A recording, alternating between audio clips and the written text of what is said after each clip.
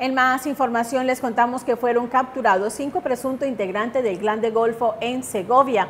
Entre los capturados se encuentra alias Bollón, quien supuestamente había participado en la masacre ocurrida el pasado 24 de agosto en la vereda Manzanillo de ese municipio.